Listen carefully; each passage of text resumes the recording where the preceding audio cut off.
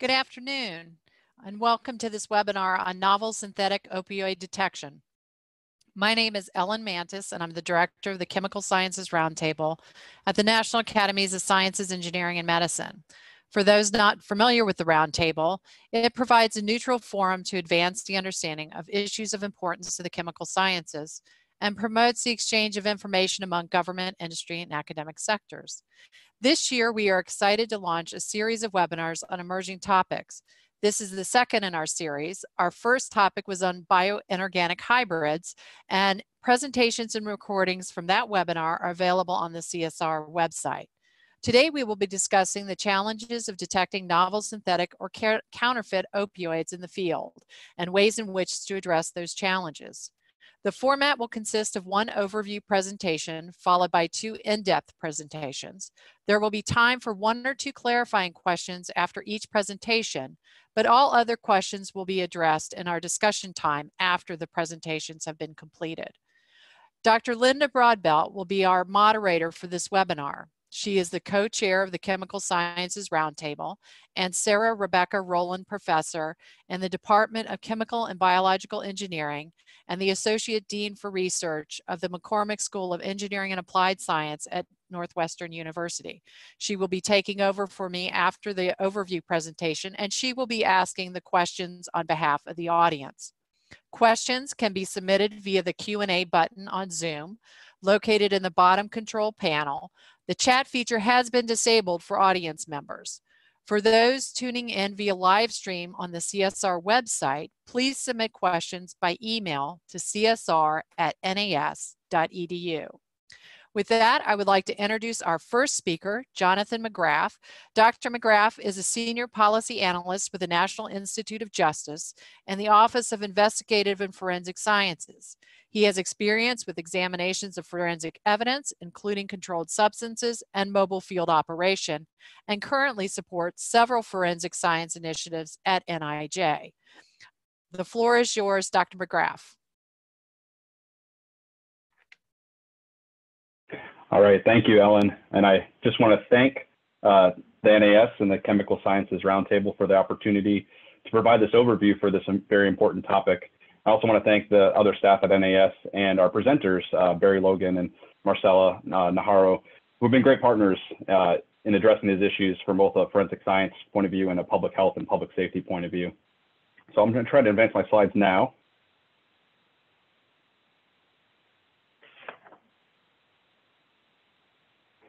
And just want to provide a DOJ disclaimer that any opinions or points of view that I express are, are those of my, my own.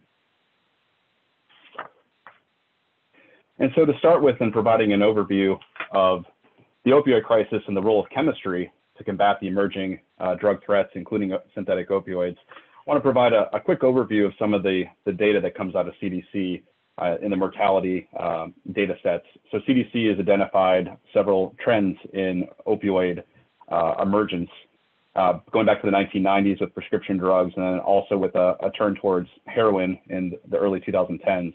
And then we see a significant rise in synthetic opioid use and overdose deaths starting in about 2013. And you can see from the death uh, statistics that are provided by CDC through 2018, there's been somewhat, there's been a dramatic increase in the use of prescription and other opioids. You see a slight decrease in total opioid deaths uh, over the last uh, year or so. Uh, but that trend has not been the same for synthetic opioids. Those, such as fentanyl and fentanyl analogs and other analogs, of opioids or, or other chemical structures related to those opioids have actually surged even further, even though we're seeing uh, slight uh, decreases in deaths. This is a very important issue from both the public health and public safety sides. So what are the considerations that we should look at for today's topic? So what does the drug landscape look like? Uh, DEA, or the Drug Enforcement Administration, schedules controlled substances between Schedules 1 and 5 where Schedules 1 are, have no, are substances with no current acceptable med medical use in the United States. Schedules 2 having uh, uh, some medical use, but having high potential for abuse. And that, that same thing is true with the lower schedules as well, having lower potential for abuse.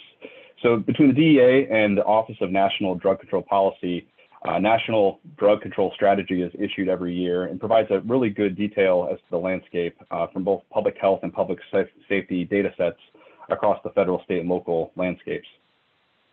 So what information is needed to address these issues of novel synthetic opioids, in particular for today's talk and looking at field detection and identification. So the information that's needed and why are that these chemical structures of novel synthetic opioids are similar to those of known controlled substances. And these synthetic opioids are being designed at, at a rate and pace to stay ahead of federal and international laws that restrict the distribution and sale of these specific drugs. So traditionally, in order to investigate and prosecute controlled substance analog cases, the structural characterization of drugs or their metabolites is essential to demonstrate that the substance is both substantially similar in chemical structure to a controlled substance or ha and has the substantially similar pharmacological effect as those controlled substances, such as stimulant, depressant, hallucinogenic uh, effects on the central nervous system. So going back uh, a few years, DEA has been, been able to use its uh, temporary scheduling authorities to issue re new regulations on these drugs, these new drugs and their analogs. And in 2018, DEA was able to schedule uh, uh, a, a uh, regulation that is commonly referred to as the Core Structure Scheduling Act for fentanyl related analogs. And that was to allow uh, additional actions to be taken to avoid imminent hazardous threats to public safety with these new analogs that are hitting the drug markets. So one of the operational gaps is in collecting this preliminary information per, uh, predominantly at the field level. And who collects this information? This may be law enforcement or crime scene techs or death investigators. As we'll see from the presentations, we'll see the other considerations for what the, what considerations are needed to collect this information in the field. And the goal here is to collect this information in a timely manner to then provide actionable information that others can use, both to identify hotspots, but then also trends across the country, and then also within jurisdictions themselves. And it's not just the technology that needs to be developed, but it's also taking that technology and implementing it into current workflows to ensure that the, the information is accurate is provided at the right time and can be used to then uh, assist the drug chemists with their identifications of the drugs. So how can chemists get involved? The final two slides that I'll show in my overview provide a set of links to resources and further information uh, to, to consider different new ways to, uh, to advance research for these types of, of issues. And you'll see from our presenters um, where you can find additional information as well. So I want to refer to DEA's National Forensic Laboratory Information System, which is a, a central repository for data that's coming out of our nation's crime labs at the federal, state, and local levels. And so as I mentioned before, getting the preliminary information within a case to the labs and to the medical examiners and coroners and to those toxicologists are incredibly helpful to help uh, initiate those types of testing strategies. The NFLIS data demonstrate a significant increase in the number and diversity of new and emerging fentanyl-related substances, in particular in forensic casework starting in 2015. And each newly identified substance requires additional research, development, and implementation of laboratory methods, testing protocols, and advanced technologies and equipment to ensure sufficient sensitivity and specificity to detect these emerging drugs in forensic casework. Increased education awareness is needed to standardize the analysis and reporting of these substances particularly for drug death investigations and working closely with medical examiners and coroners. The death certificates need specific details of these drugs involved in the death to ensure the completeness and the accuracy of the drug death statistics and to avoid undercounting. This comprehensive toxicology data is also comes from driving under the influence of drug cases and motor fatality, motor vehicle fatality cases to ensure that more information is provided on the prevalence and use of these opioids, fentanyls, and other analogs. In 2019, the Department of Justice issued a report to Congress alongside NIJ on the needs assessment of forensic laboratories and medical examiner coroner offices. And I heavily encourage those in the audience to read the 13 pages in the report that discuss the opioid crisis and emerging drug threats in particular. It discusses the continuous emergence of the new drugs and drug mixtures that need to be analyzed by the stakeholders that I've mentioned. It also cites that an additional $270 million was needed in 2015 simply to address the impact of these new drug and toxicology cases coming into the laboratories. And this number is a cost estimate is associated with the optimal balance of getting the request into the laboratory and issuing the reports back out to the customers in a timely manner. This report also identified that expenditure increases increased for, for both drugs and toxicology uh, in these years. And this 37% increase in expenditures was needed for drugs and controlled substance analysis, 25% increase in toxicology analysis. And this compares with about 3% increase in expenditures for other forensic disciplines in the same time frame. There's been a dramatic uh, increase in the, the number of turnaround, the amount of turnaround time to turn, turn over the drug casework. Between 2011 and 2017, the turnaround time increased from 58 days to 79 days for drug cases. And for these same drug cases, the backlog soared from 30, 385 cases to over 1,200 cases. So it was a 225% increase. So the preliminary uh, drug testing that can occur in the field is incredibly important to help uh, to help uh, create efficient workflows and efficiencies within the laboratory environment to get those appropriate information about the drugs to the stakeholders. This report also identified that resources needed to help forensic laboratories coordinate with public safety and public health officials in order to implement field detection equipment to develop that actionable information and share data in a timely manner. And this report also identified a promising practice in deploying that field portable drug detection instrumentation to provide this preliminary results and also triage casework in coordination with the labs for operational management and oversight.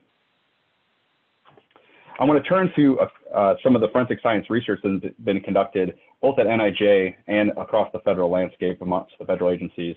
In 2015, NAS issued a report on the support for forensic science research at NIJ and our role in that in this area. And we also issued a report looking at the federal investments of forensic science R&D nationwide. And as I mentioned in these final two slides, I've provided links to additional resources that you can find. They're free resources and they're available to the public. So whether you're a student, researcher, practitioner, or just want to learn more information about these forensic science issues, are interested in applying your chemistry and scientific expertise towards these criminal justice system issues and their intersection with public health and public safety problems, please visit these resources and funding opportunities for additional information. And as I mentioned, uh, several of these uh, additional uh, papers have contributed to some of the workshops and forums and symposia that we've been a part of across the forensic sciences to address these issues.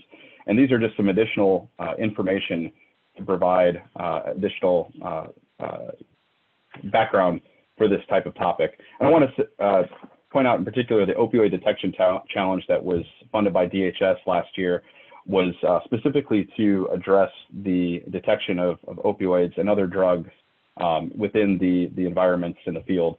So I encourage you to check out these resources and I, I thank everyone again. I'm happy to answer questions either now or at the end of the presentation. So I'll, I'll turn it back over to our moderator.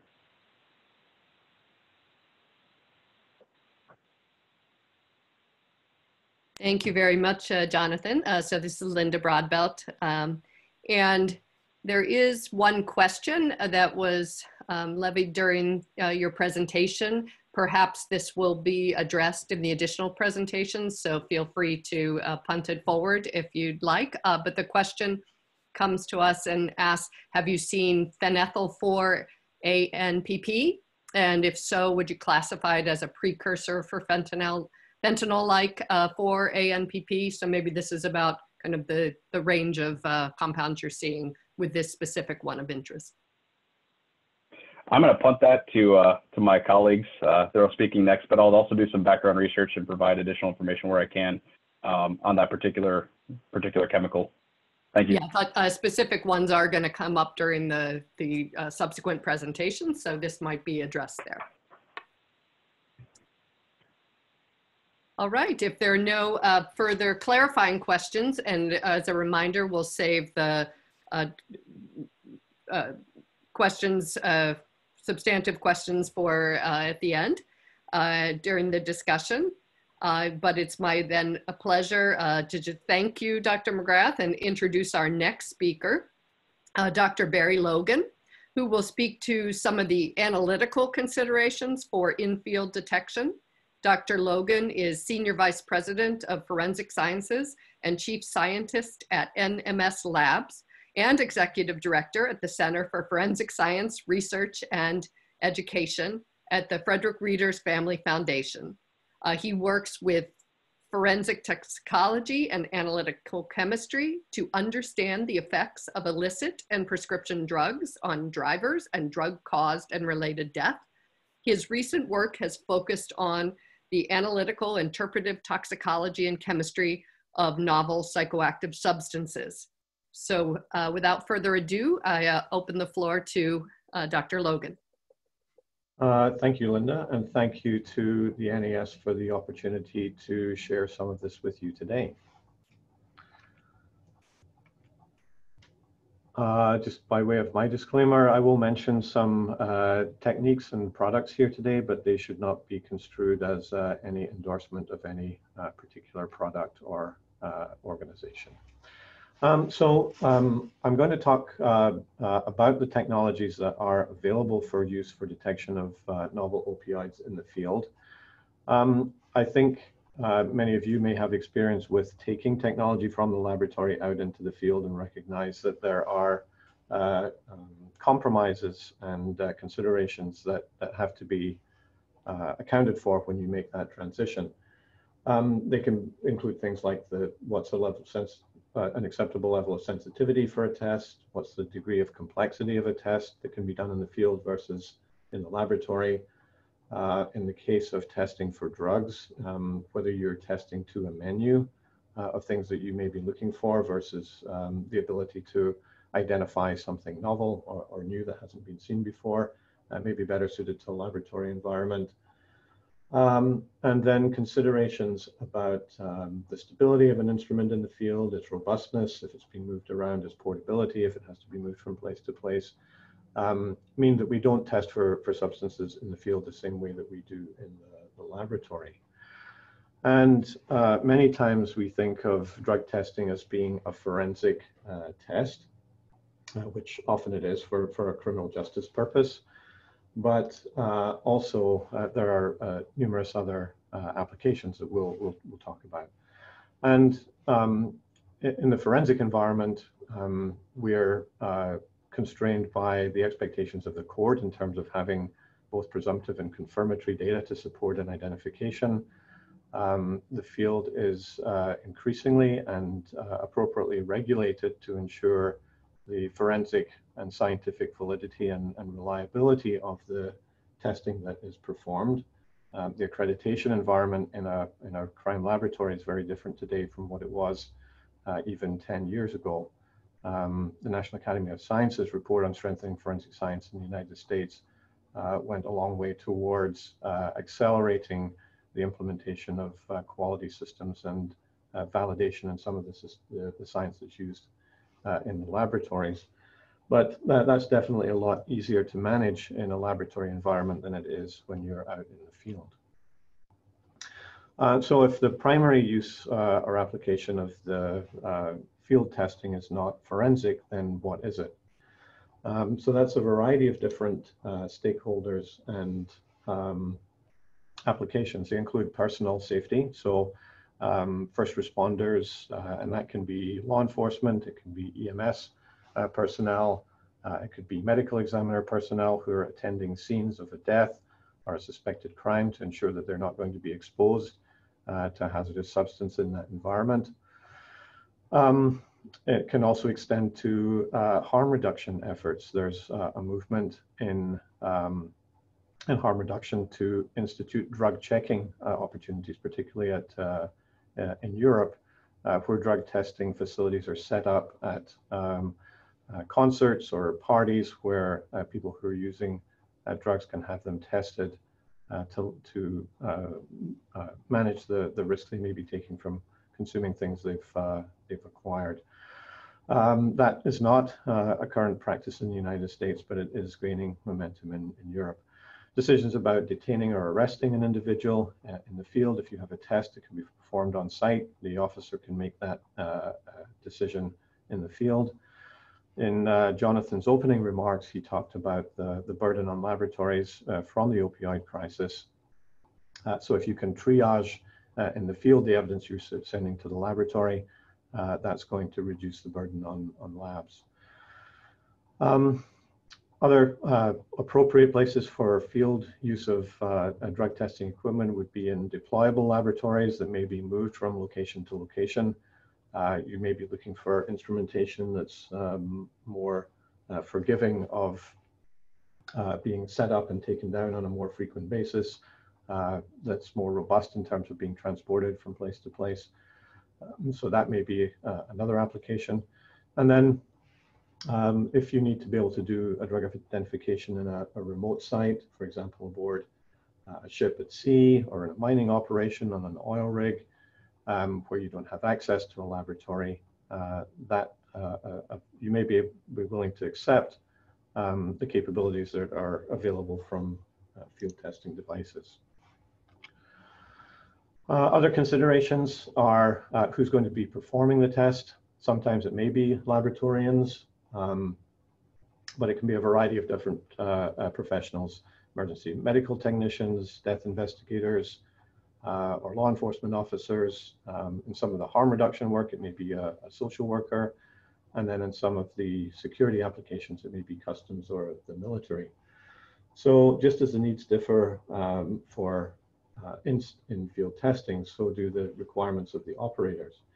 Uh, some of these folks will have a higher level of technical competence, for example, um, not just for operation, but maybe for troubleshooting and diagnostics uh, or repair of an instrument that's in the field. Um, and then different uh, capabilities and needs in terms of is it simply a black box operation or is it um, uh, something where the, the results are going to require more interpretation. Uh, so that will impact the uh, capabilities that are required of a field deployable uh, technology. And then the user environment. Um, we go to great lengths in the laboratory to standardize and stabilize things like power, temperature, um, humidity, uh, operating on a stable surface, uh, certainly no impact from uh, weather, having appropriate lighting, for example, to read the test. you lose a lot of that uh, predictability when you take a test out into the field. So what is the uh, optimum technology maybe that we aspire to? Um, for those of you who don't recognize this, this is a Star Trek uh, tricorder, medical tricorder, um, that was a device that was capable of uh, making just about any measurement in any environment, giving results uh, immediately, and it always seemed to work. Um, in reality, we're not quite uh, at that level, though interestingly, some of the devices I'll show you today do bear uh, at least a passing resemblance to uh, the fictional device. So what are some of the options for uh, uh, application in field uh, drug testing and opioid detection in the field? Um, progress is, is certainly being made and the technology is changing all the time. canine detection is a whole science of its own. Uh, involving detection of what's now called the uh, volatilome, uh, or the, volatile landscape. And canines are capable of detection of extremely small amounts, but even at the part per trillion level of targeted compounds, including drugs and explosives. from a, a, a, a, chemical test point of view, um, we'll go through what some of the color, current options are. Chemical color tests, um, application of immunological testing uh, that's being repurposed from a toxicological application to field uh, testing for the identity of drugs. Um, and then uh, more instrumented technologies, handheld uh, FTIR and Raman, uh, field-based mass spectrometry. And then we'll conclude just by coming back and considering um, uh, what the contribution of the laboratory continues to be, even if you are relying on field uh, preliminary or presumptive testing or screening.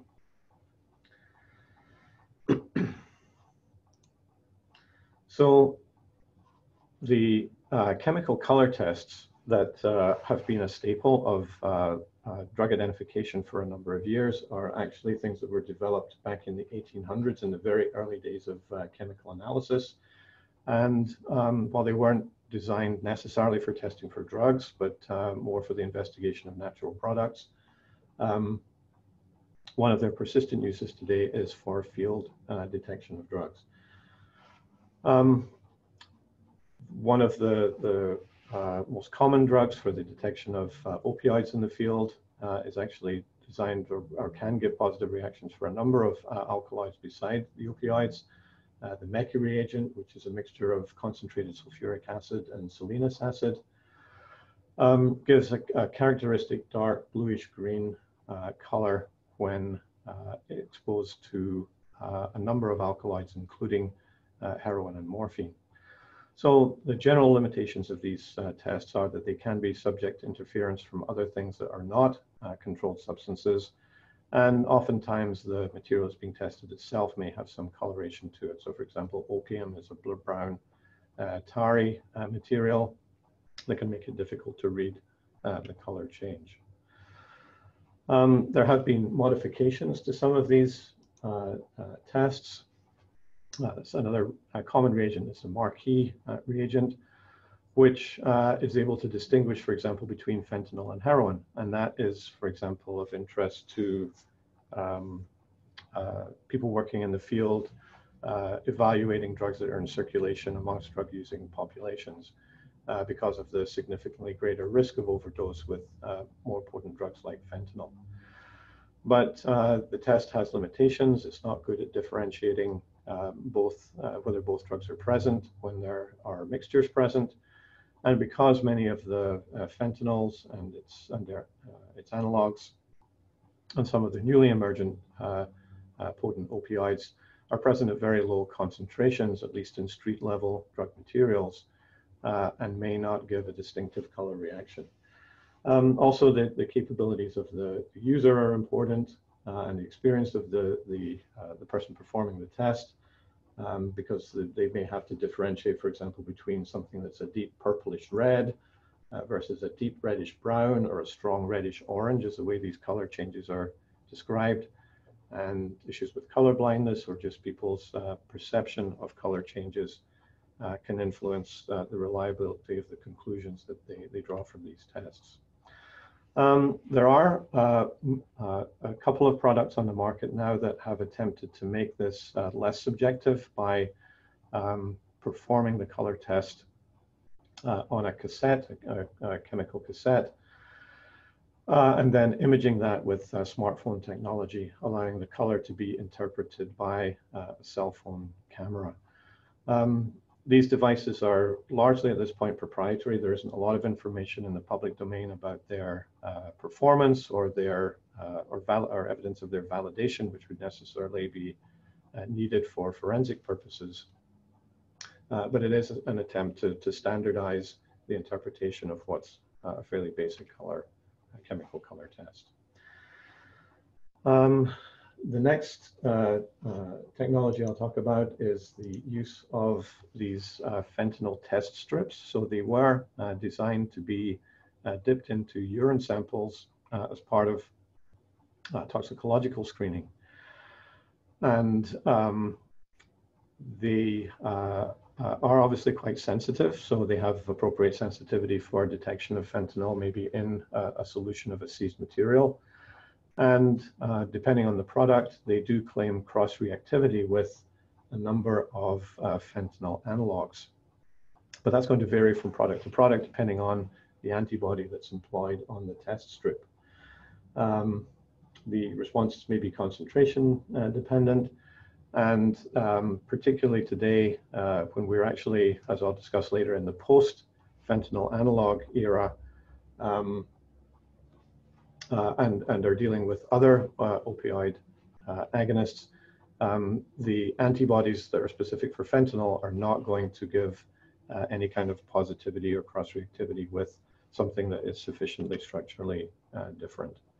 So for color tests in the field, they're attractive because of their low cost, their relatively low complexity.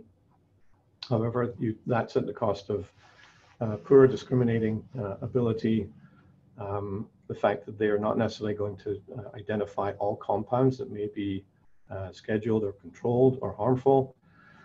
Um, they're going to have limited sensitivity for some of the most uh, more com uh, potent compounds, and then their, their the fact that the, the newer approaches are not extensively validated would limit uh, their application for uh, forensic purposes.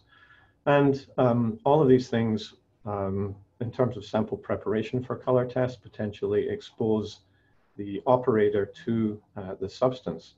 And there are multiple stories in uh, the media uh, about adverse effects associated with uh, that kind of exposure. This was a story from last year in uh, Houston where uh, an officer picked up a, a, flyer from the windshield of a vehicle uh, and started to experience some adverse effects. Um, it was suspected uh, potentially of being, uh, paper was suspected of being uh, contaminated with fentanyl. And uh, that was tested with a field test, which gave a positive result. The, the deputy was sent to the hospital uh, for treatment. But then um, a couple of days later, when the flyer actually went to the, the laboratory for uh, follow-up testing, uh, that was found to be a false positive in the field. So um, there can be significant uh, outcomes in terms of decision making and decision points if you don't have uh, the right kind of reliable technology in the field. So moving on to uh, higher uh, uh, complexity testing, uh, the two options really are FTIR Raman or mass spectrometry.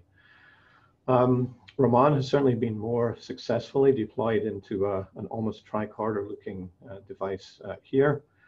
Um, that is uh, truly handheld. It can be uh, transported easily in a vehicle. It's a robust piece of equipment. Um, this particular device offers both FTIR and Raman, so you have some complementary analytical techniques. and you do get a pretty good discrimination capability for uh, controlled substances that are in uh, the library or in the database of the device. Uh, with Raman, um, you do get some uh, reflectance back from the container, but you are able, uh, in many cases, to read through paper or through uh, a small thickness of plastic to get Raman or scattered spectrum from the substance that's contained in the, in the container that uh, reduces the risk of exposure of the, uh, the operator to the substance, uh, which is one of the things that has made this uh, technology so uh, popular.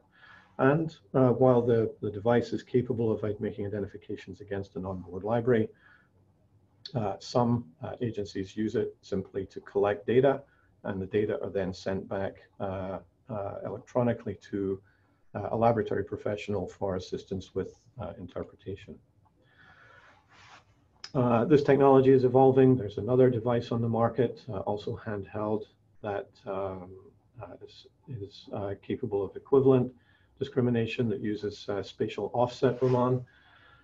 Uh, in spatial offset, Raman, you have uh, the separation of the excitation and uh, detection uh, features of the instrument that reduces some of the back, uh, backscattering and interference and improves the signal to noise ratio. And it allows you then to take uh, subtraction of the surface spectrum from uh, the subsurface spectrum, uh, which gives you better insight to uh, substances that are contained inside plastic or paper or cardboard containers.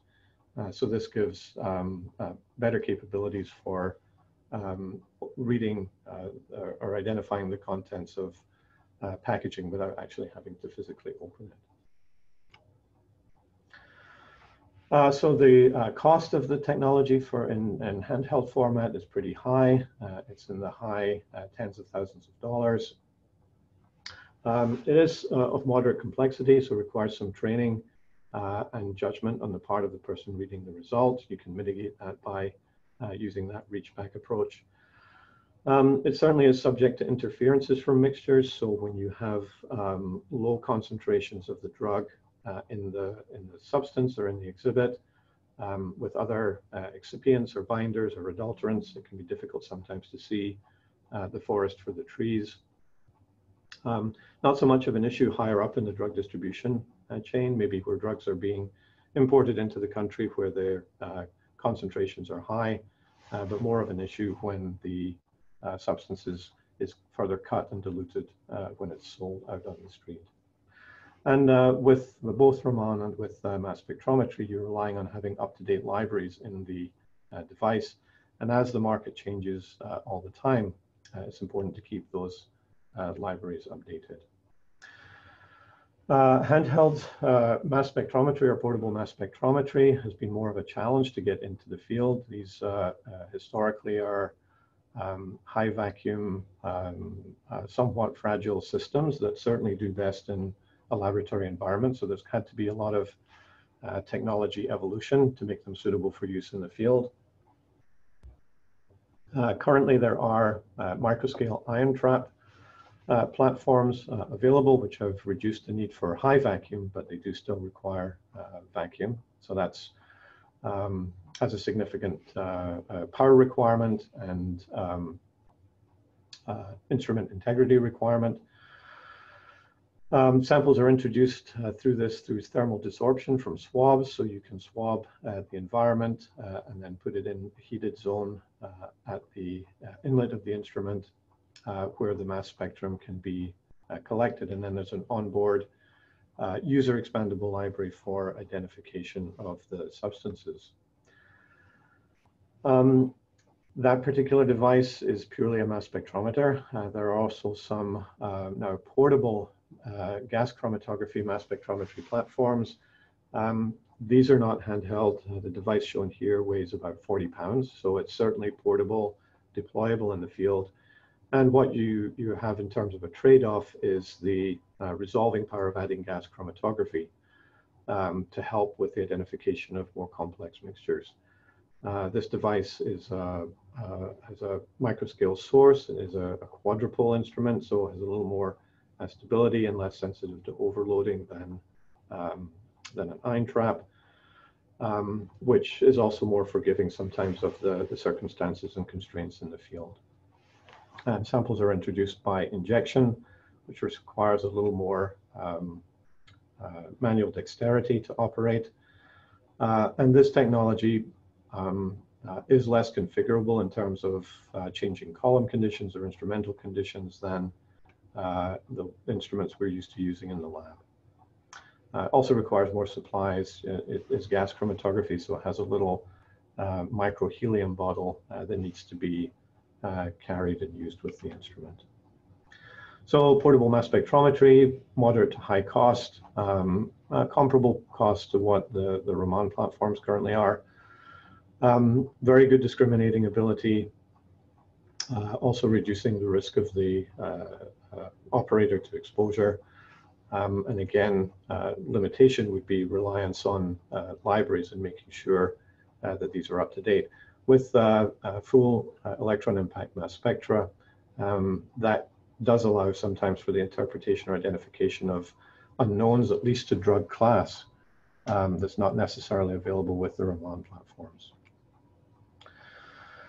Uh, and then, of course, the lab is kind of the gold standard. Um, so many of the things that we have to compromise on in the field, um, in the lab, we have better separation signs and options. We have a much more stable environment, which allows typically for more sensitive testing, uh, safer uh, handle, uh, sample handling options, uh, greater computer power, analytical power, and then access to uh, higher resolution platforms like NMR and accurate mass mass spectrometry.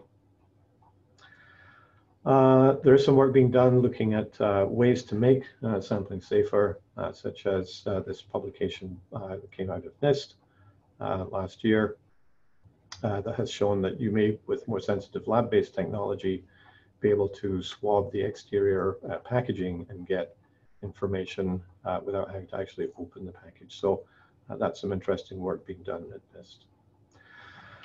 Uh, so just in the last couple of minutes, I just wanted to reinforce uh, from a, a, strategic point of view what some of the challenges are with field uh, analysis and how rapidly the, the uh, demands are changing. In uh, 2010, uh, we were testing for a relatively small number of opioids. By 2020, we've gone from testing about 10 to testing um, a number that changes on a weekly basis. Uh, new categories of opioid, new opioid agonist drugs are being uh, illicitly manufactured and distributed.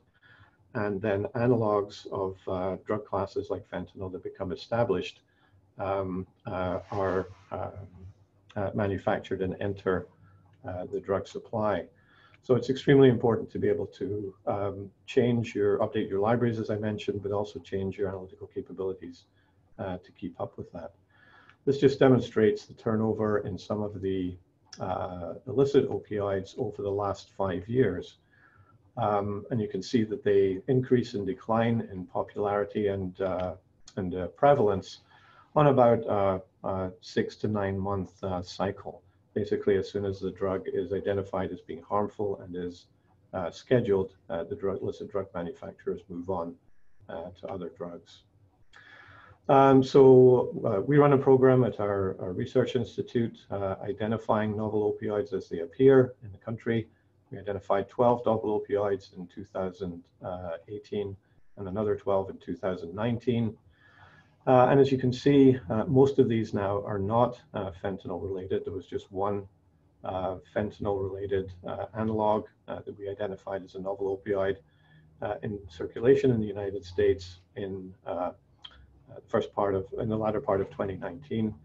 Uh, the other uh, substances are either drugs that have been pirated from patent information or literature or publications from as long ago as the 1970s or novel analogs of those substances that, um, that are now being um, introduced into the, the drug supply.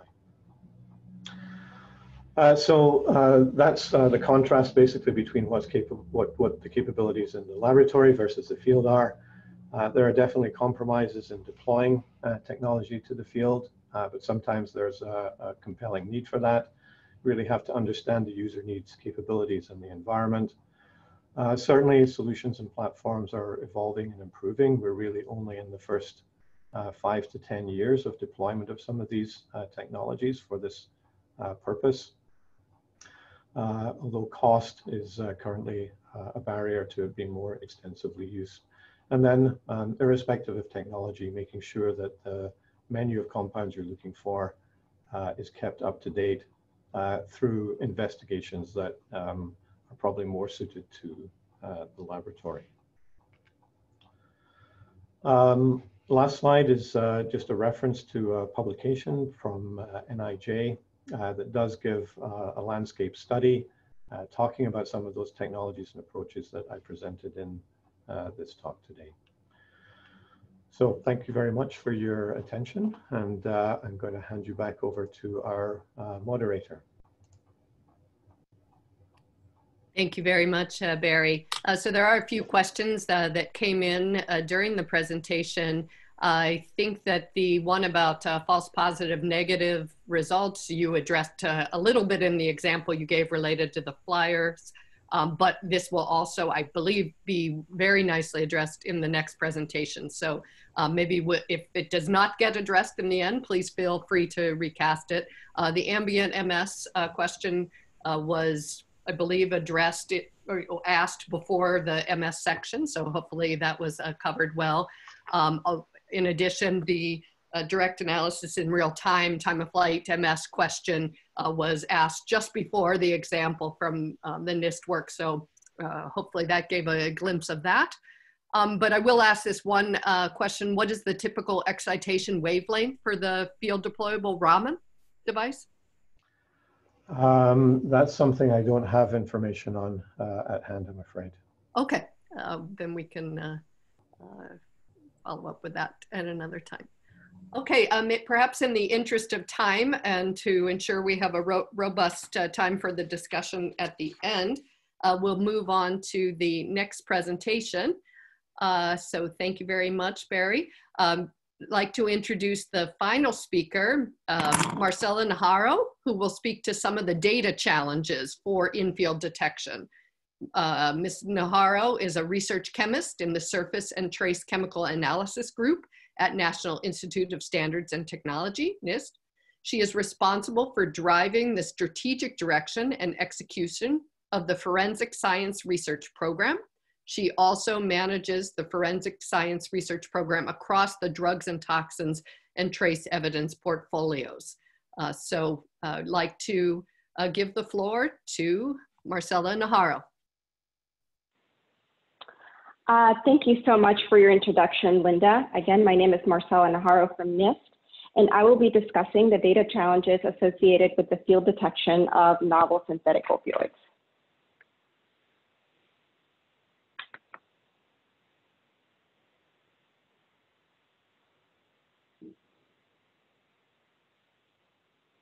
If you could advance my slide, please.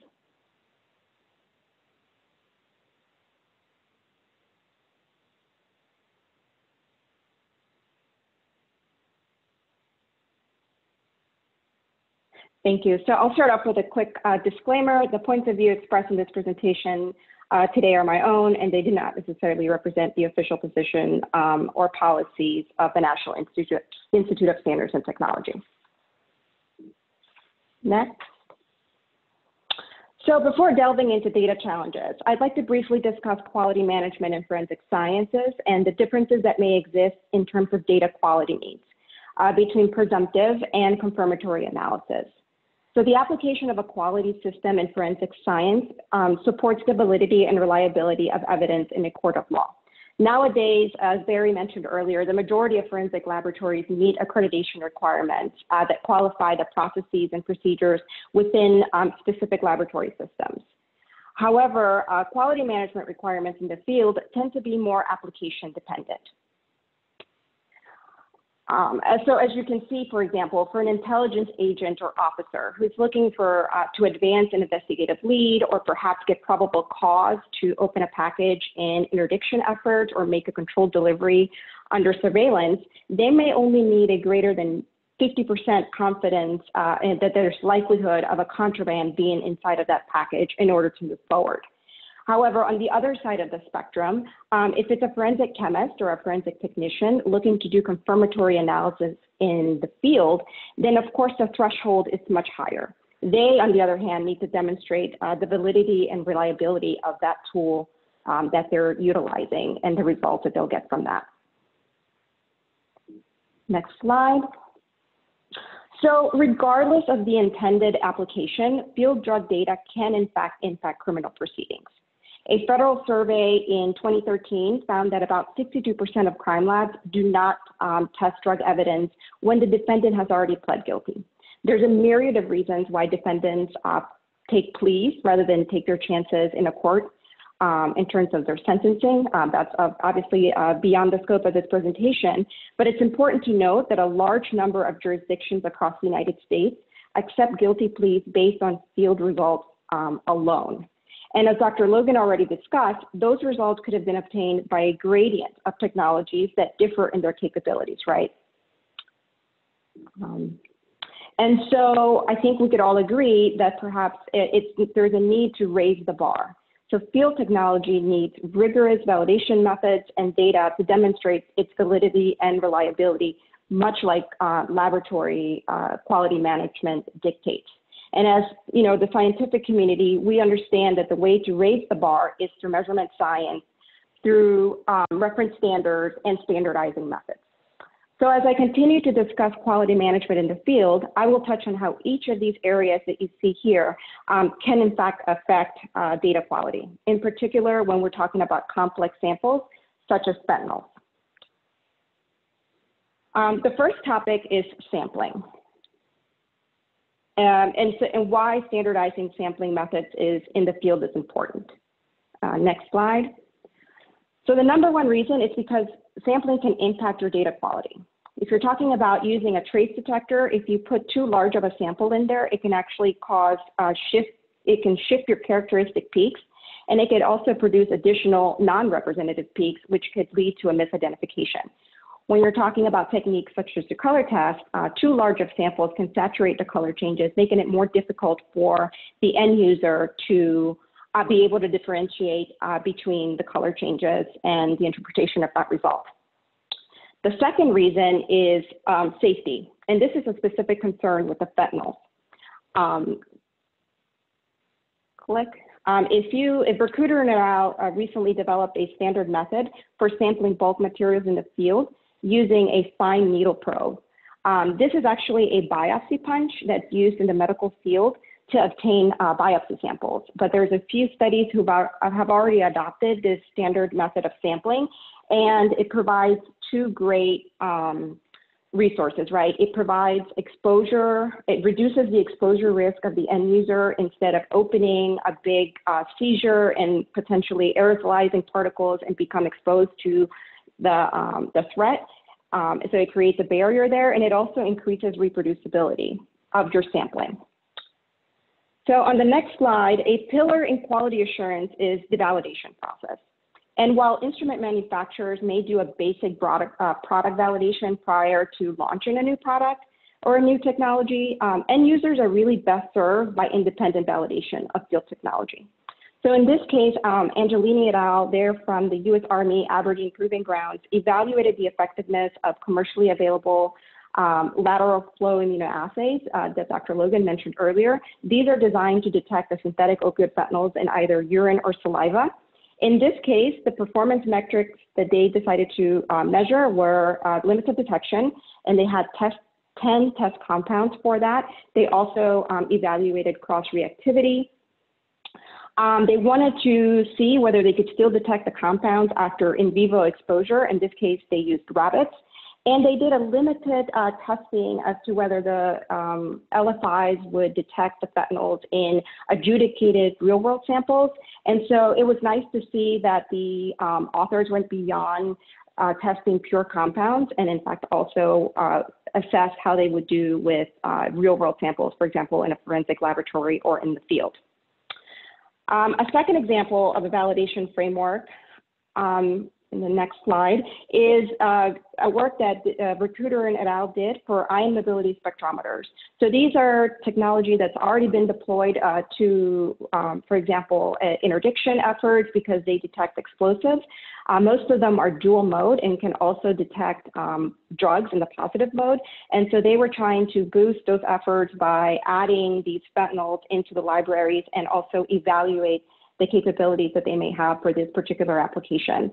Um, there's a need for standard methods in order for end users to be able to compare and validate performance using common metrics. Um, something that I want to highlight from this study is that the way they based uh, their sample set and what compounds they were going to test the equipment on was based on um, DEA's uh, NFLIS. As, and as Jonathan mentioned earlier, that's the National Forensic Laboratory Information Systems, and they have data um, regarding the drug seizure um, from crime labs. And so it was actually a really informed way in terms of selecting what people typically see um, in terms of drug seizures and what may be being infiltrated through our borders or through the mail. Um, they also moved away just from testing pure compounds and added um, um, other additives. So in this case, we're talking about your heroin, your procaine, quinine. A lot of times those will be found in mixtures with um, the fentanyls, and they also added um, commercial, uh, pharmaceutical formulations that may test uh, for false positives. Finally, they identified a compound, uh, benzylfentanyl, to use for sensitivity, and in this case, they did so for uh, because it's safer. Even though it's you know 17th on the list in NFLIS, um, it is considered safer because of its lower potency. So this method proposed here provides a very basic level of validation for the detection of fentanyls and other fentanyl-related um, substances on IMS. Um, it uh, allows end users to continue to build on their library. It has resolution measurements and also provided um, limits of detection in a, uh, in a very standard way. And the next slide, you'll see that uh, standard terminology and a robust measurement platform allows for end users to be able to compare you know, apples to apples when they're trying to decide which technology best suits their needs. So in this case, because there's already a method where the LOD is very defined, users can have data-driven make, can make data-driven procurement decisions. Um, ASTM 2677 um, describes a, describes a web-based tool that's meant for manufacturers, vendors, testing labs, and end users to, um, to estimate a robust limit of detection. Um, this standard was recently updated in 2020 to include some of these fentanyls as well. And what I like about this tool, um, again, it's web-based, so it's very accessible. It's extremely user-friendly. Um, it pops up with your statistics afterwards and um, your measurement uncertainty, but also, if you click one more time, um, this web tool has a data quality check. And so if the data quality is marginal that an end user has put in there to, to make their calculation, a message will provide suggestions on how to improve that quality. And once you've met that quality um, standard, then the web tool will perform the calculation and return a 90% upper confidence um, LOD 90, what we call an LOD 90, including a measurement of uncertainty. Um, next slide. Um, so even though it's, you know, as Barry said, we're really building on this foundation of improved uh, testing methods and validation efforts, they don't all address the expected um, sources of error that arise when technology is actually deployed into the field. So there's here's a three ways that you can consider to bolster either validation protocols in the laboratory or further verification that may take place once the, the, um, the instruments have been deployed. One of them is potentially adding standard dirt to your testing. Um, yes, NIST has three different uh, a couple of different types of standard dirt uh, that represent different regions of the country. And the reason this is important is because dirt may be included in the matrix um, of when you do your sample collection. And so you want to have a really good idea as to how this may be inter uh, cause interference or maybe serve as a masking agent on your type of technology. Um, second, um, a study that was referenced earlier, Sisco et al. Um, were um, considering looking, uh, proposing perhaps sampling the outside of the bag to reduce risk and uh, to the analyst of opening these packages. And so could the outside contents of the bag predict what's in, inside of the package? So they also tested contaminants that are expected to be found outside of plastic bags to see um, whether that affected their um, ability to predict the inside contents. And finally, Forbes uh, measured the contribution of environmental background to instrument, to instrument response by um, partnering with a, a, field deployed instrument and analyzing a large number of true negative samples in order to understand, um, to create ROC curves and um, better understand false positives. But following a thorough controlled validation in the lab, in-field verification uh, must also be performed in the operational environment in which the instrument has been deployed. Um, a lot of these instruments already have an internal calibrant that accounts for shifts that can occur as a function of temperature, humidity, or pressure. Um, but I think where, where there's still a need uh, to improve is in our use of quality controls or quality checks to ensure that as a function of time, your instrument has not declined in performance and, um, and have those metrics available. And so of course, in the laboratory, we're very used to having positive, running positive controls, negative controls. Um, but a potential challenge with having a positive control here is that of course the safety, right? So having these uh, materials out in the field um, with known fentanyls in them could provide some, some potential issues. Um, another critical thing to do once your instrument has been uh, deployed to its operational environment is to continue to fine tune or even customize your detection thresholds. Um, if you're operating in an environment that's you know, known to have higher drug background levels, then your detection parameters should really reflect that. Um, this includes uh, border crossings, international mail facilities, you would think that your drug background level there is going to be higher. So you want to have that into consideration um, in order to be able to reduce your false positives. One other thing that I will add is that this data is extremely valuable to instrument manufacturers. And so I would encourage end users to share um, this background data with them in order for them to create um, better algorithms and even smarter um, data analytics. There have been several studies that have measured drug background levels in public spaces. And so um, that can inform end users, you know, what type of sensitivity are they really looking for in technology and what should they be targeting? Um, a lot of them, uh, end users will get trace detectors, but their background levels um, just do not, um, are not good for that. They need more of a bulk material um, detection levels. Um, Next slide discusses in the field of forensic science, evidence data management is um, critical because it ensures that the results are going to be court admissible, but also provides the defense with an opportunity to review the original data. And so the three main goals are to protect the validity and accuracy of the data, to maintain that chain of custody, and to comply with evidence retention laws. Um, these vary depending on uh, your jurisdiction but it's something to definitely keep in mind. Uh, manufacturers, I think, understand pretty well these unique requirements of forensic sciences, and so they've come up with data solutions that um, automatically store the results for reporting or for evidence submissions, and they also include some uh, metadata included in the data files, such as time, um, date stamps, and some even include um, coordinates as to where you were when you took that sample. In the next slide, um, I discussed uh, something that I mentioned earlier, which is that ASTM standard that's being um, developed for field detection of fentanyls. Um, I think this is going to be a really great resource for the community. It's being drafted by the Committee E54 of Homeland Security and supported by DHS Science and Technology.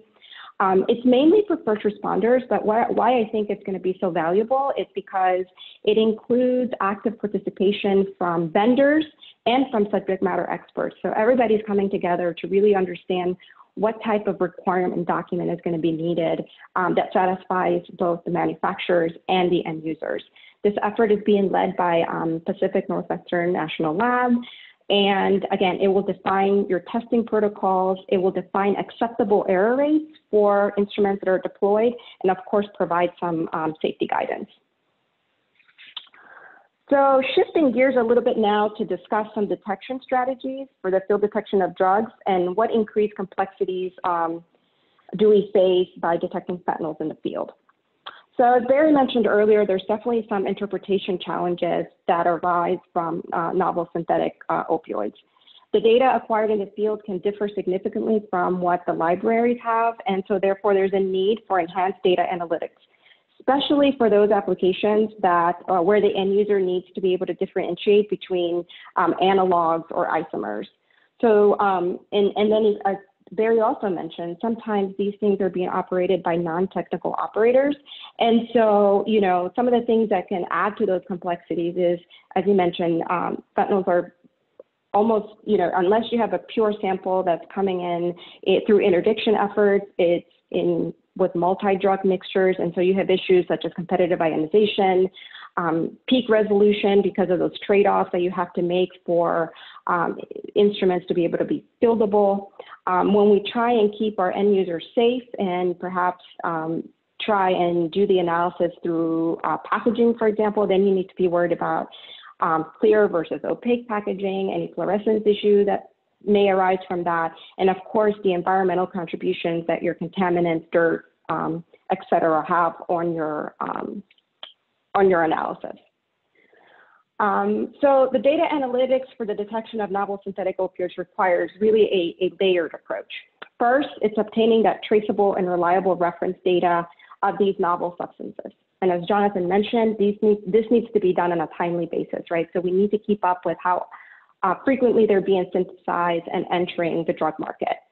Um, that reference data can then be used as label data to populate threat libraries and to make them more robust, or you can use them to train algorithms.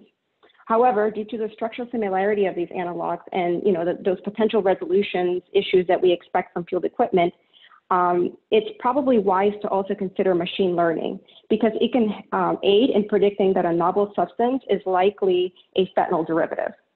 And finally, uh, there's a need to validate statistical models using real world data in order for, um, for developers to continue to improve that initial feature selection that they, um, that they used.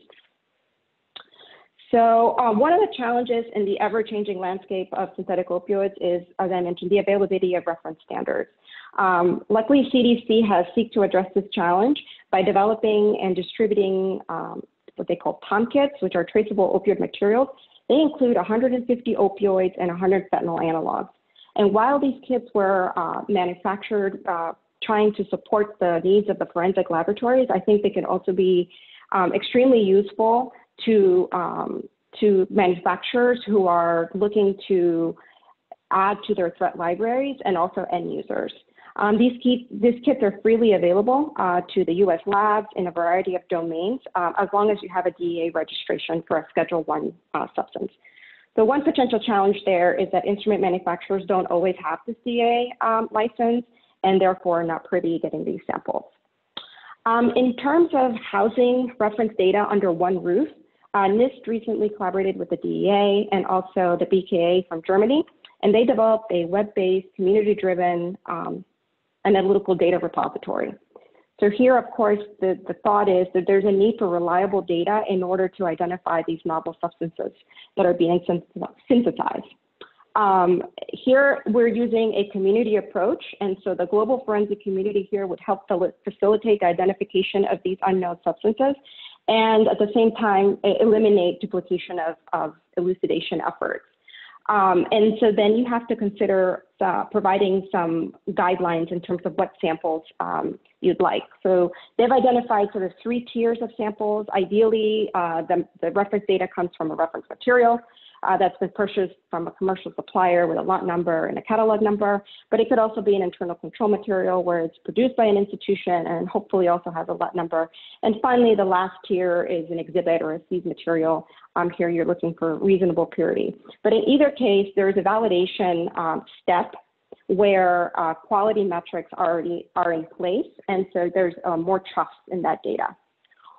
So once you have the reference data for these new substances, they can be used to identify, um, again, to test those algorithms that you already have, those existing algorithms, and understand whether they have the right feature selection in order to predict um, and identify the right content.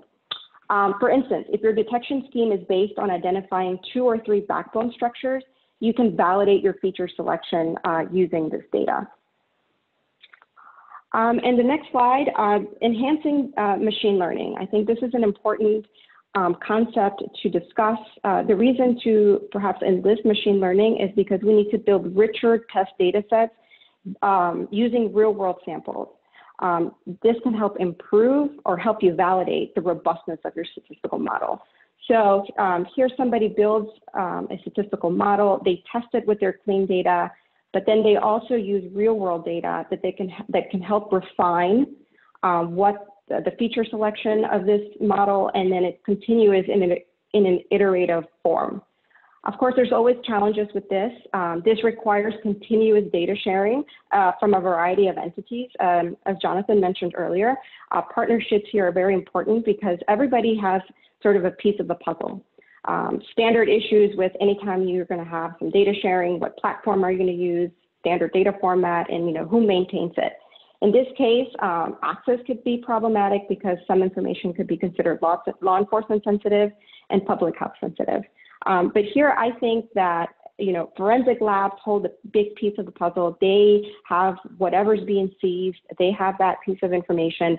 Medical examiners um, also have a piece of information because they know what um, folks have been overdosing in um, hospitals, you know, non-fatal overdoses, and finally, intelligence agents have a really good idea of what's um, been coming in through our borders or through the mail facility anytime you're designing a tool and um, you're doing so from the comfort of your library and of your um, laboratory, you have to consider what is going to what is it going to take in order to throw this over the fence and actually um, operationalize it.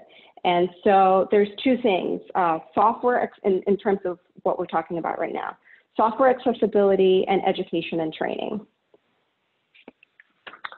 So um, in order to continue to make strides in data analytics at the rate required, it's going to really take a village. Um, software, uh, so software and algorithms need to be open and transparent. This allows for them to be freely available, um, and it facilitates accessibility, adoption, and scalability. Here's an example of um, Arun Moorthy from NIST recently published an open source software implementation. Um, it generates mass spectral similarity mappings of unknowns against a library of type 1 fentanyl analog spectra. Um, those are just molecules that differ from fentanyl by a single modification. The goal is that by making it open source, more end users can evaluate its utility in its current state. They can aid in the validation of that statistical model that supports it. And then the result is hopefully a better product for the community. Next is that um, trials of facts are already looking for decision-making algorithms to be more transparent to the public and have um, a higher level of documentation that discusses what the um, assumptions are based on the data, uh, what their limitations are, and also what are the feature characteristics that support that model. Um, a recent um, federal judge asked the New York Crime Lab to unseal um, their their algorithms they were using to analyze data. And so this tells us that that's where um, this movement is heading towards.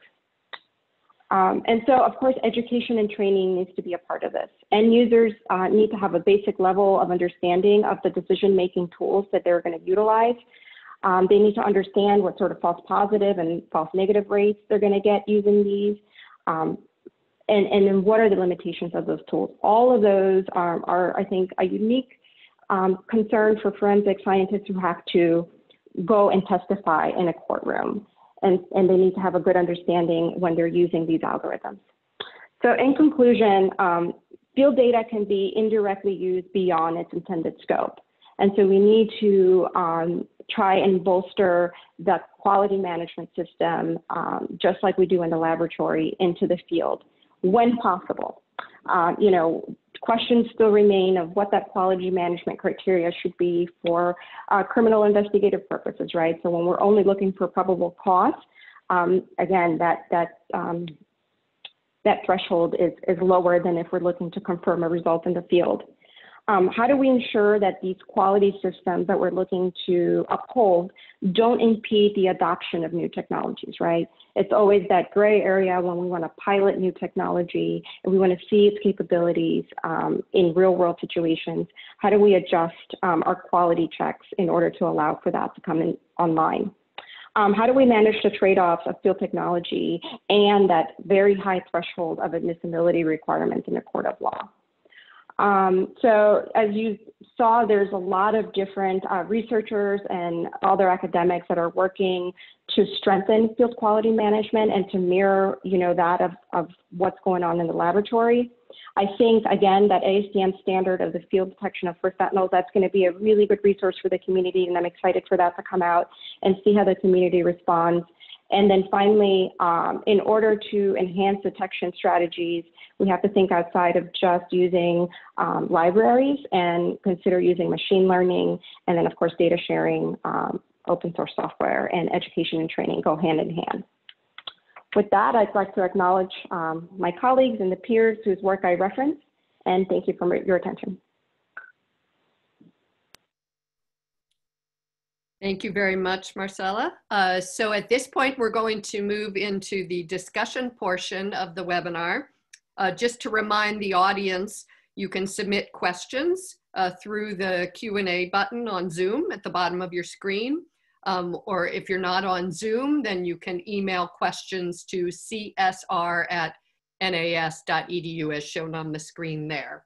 Um, we've already had some questions uh, come through, and so I'll go ahead and uh, begin the discussion portion.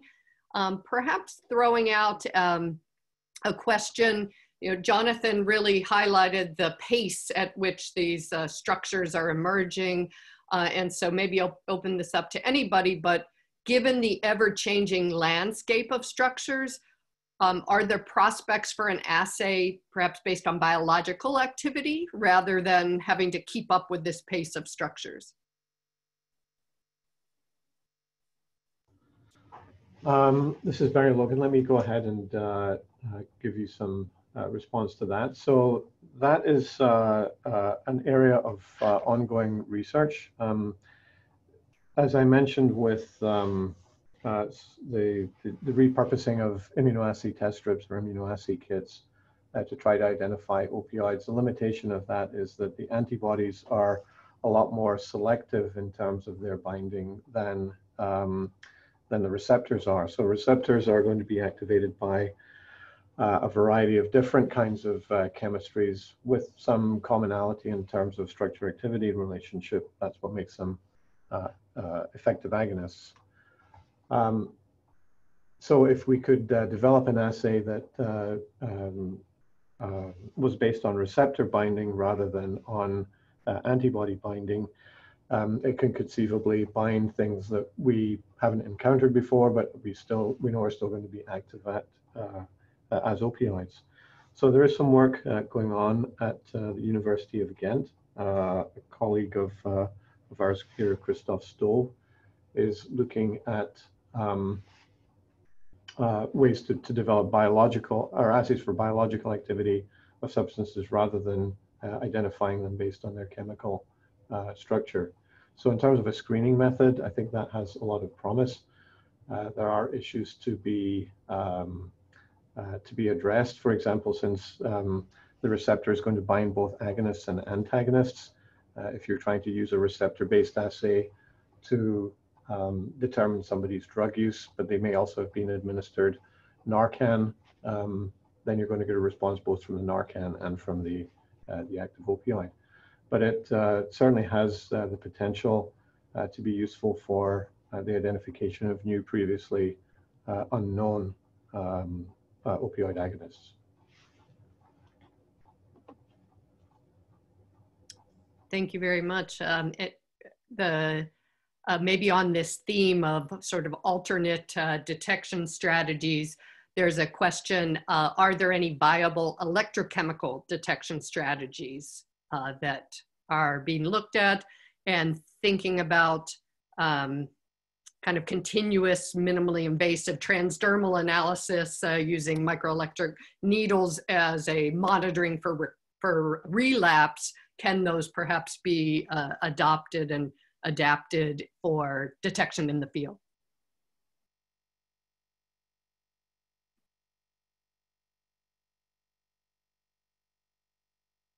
Um, this is Barry Logan again. I, I can tell you that there are some commercial products uh, in development that are based on electrochemical um, uh, uh, techniques, cyclic voltammetry, uh, and looking at uh, characteristic um, uh, potentials for the identification of, of opioids. Um, it certainly is not currently um, deployed or deployed technique and I'm not aware of any commercial devices that are in use or on sale that, that employ that approach. But um, the, the opioid uh, crisis has um, spurred a lot of uh, research into alternate uh, technologies, particularly those that may be uh, more amenable to, uh, to field deployment. Um, Jonathan uh, mentioned in his opening remarks the um, the opioid detection challenge uh, that NIST and um, uh, NIJ and Homeland Security uh, had launched uh, last year, which was really to encourage um, technology developers and, and uh, uh, academic researchers to apply techniques or technologies that maybe haven't in the past been used, particularly um, attractive is the idea of passive sensing. So being able to detect uh, somehow, for example, in uh, in the mail or in um, uh, with packages uh, uh, on a on a conveyor belt in a mail sorting facility. Um, is there a technology uh, either that can see through packaging and detect drugs, or that can detect trace amounts of drugs in the environment? Um, NIST, I know, has done some work on techniques to dislodge surface trace materials from packaging uh, into the air where they may be detected by a variety of techniques. Um, so uh, the challenge uh, is new and the need for innovative technology is, is new. Uh, and there are uh, definitely, uh, there's definitely interest on the part of, of organizations like NIJ in trying to bring um, some of those technologies to bear on what might be historically have been considered more forensic purposes. The, the second part of your, your question, I'm probably not uh, able to answer.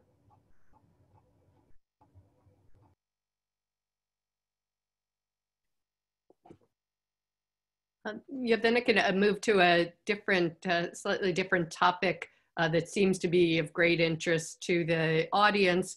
Um, Marcela, you really perhaps covered this in its entirety, but let me pose the, the two questions that came in related to um, this idea of false positives and false negatives. So, you know, how are the risks of false positive negative results assessed and established for both field and laboratory tests?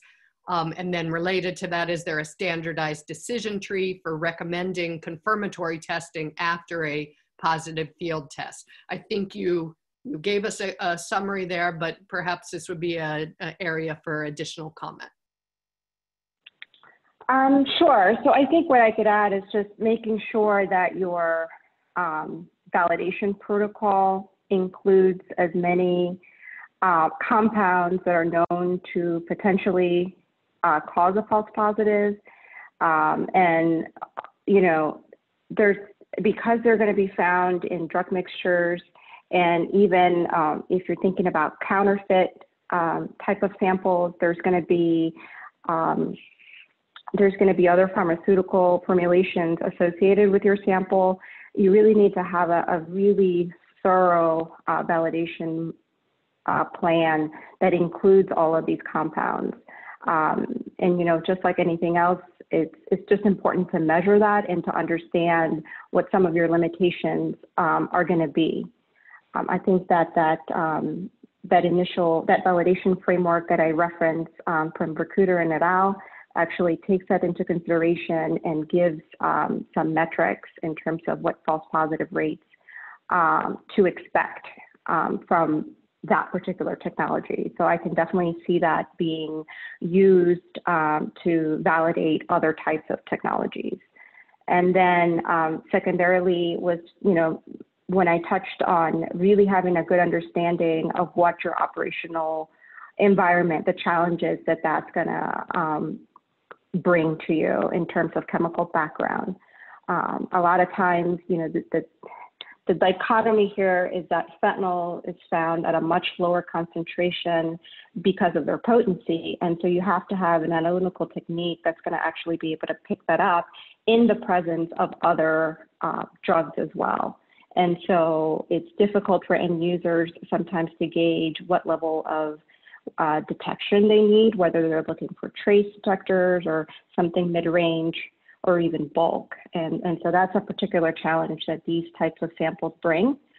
Um, but I just would highly encourage um, that validation to go beyond what's done in a laboratory and to also um, do some testing once the instrumentation has been operationalized. And again, customize or fine tune your detection parameters based on that. Um, the, the only other thing I'll add is that uh, your background it tends to change as a function of time, and so this could perhaps just sort of be part of your quality management. That at a certain interval, you're going to continue to monitor what your background looks like and sort of continuously tweak um, your detection thresholds um, and monitor that signal to noise so that you can minimize your false positives. Um, just to to uh, uh, Marcela's uh, point, um, another consideration is uh, considering what the application is and what your tolerance for false positives uh, or false negatives is under different circumstances. So, for example, if you're uh, a first responder and you want to know whether an environment is safe to go into, you would have um, fairly low tolerance for, for false negatives um, maybe a little more tolerance for false positives, the decision just being either to apply more uh, uh, personal protective equipment, as opposed to if you're using the test to make a decision about whether to place somebody under arrest, um, you may have a different tolerance for a false positive, particularly if, uh, or if you're using the test as a screening test and you know that there's going to be uh, a more discriminating confirmatory test uh, done in a laboratory. So um, that's something that the user really has to determine based on their, their application also. Thank you both.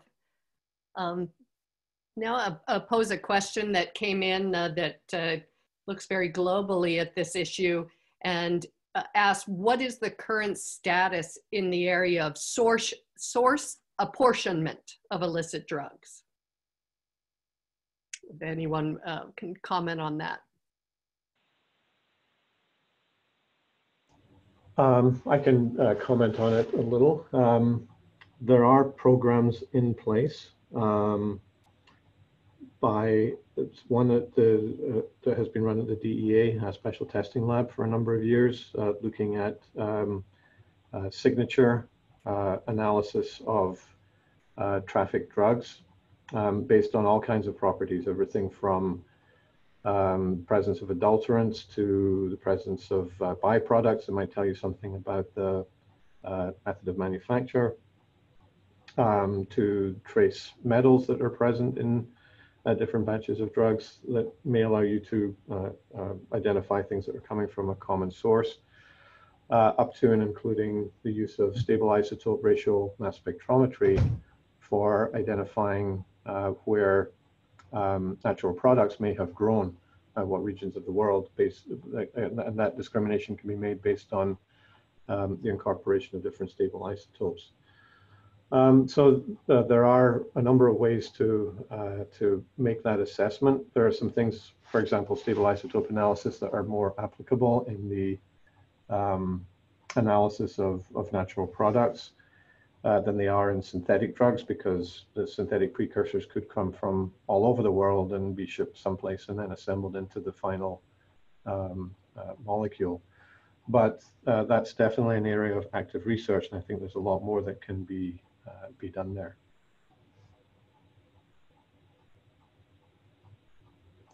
Thank you. Uh, so might want to uh, build on Marcela talking about uh, machine learning and data analysis and computation.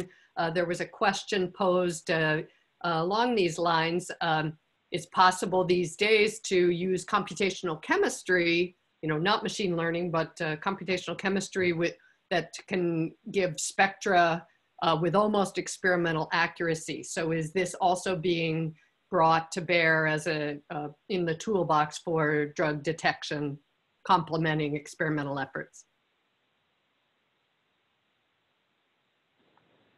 Um, I'm not aware of that, although um, there was somebody I think at uh, at UC Berkeley who was considering uh, that application, but I'm not quite sure how far they've gotten in, into those efforts. Do you know of anybody, um, Barry, who's using that?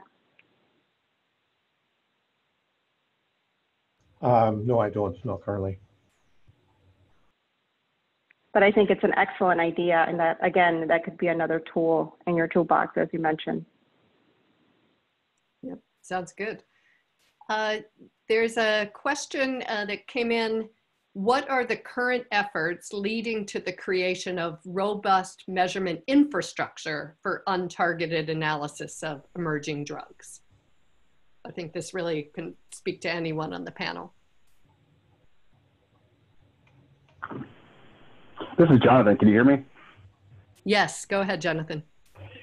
Yeah, one of the uh, the links in the final slide of the overview included a uh, a paper that was published, I believe, within the last year. It's Morrow et al. And I believe uh, Barry Logan and myself contributed as co-authors.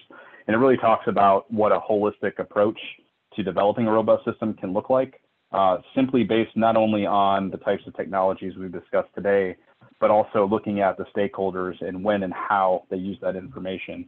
Uh, so I believe that that might be a good place uh, to start, as well as the needs assessment. Uh, but really, this comes down to uh, this concept of developing systems-based approaches across all stakeholders, customers, and users of the data and collectors of the information. And in some ways, it needs to be uh, somewhat jurisdiction dependent based on the needs and the resources available within a community.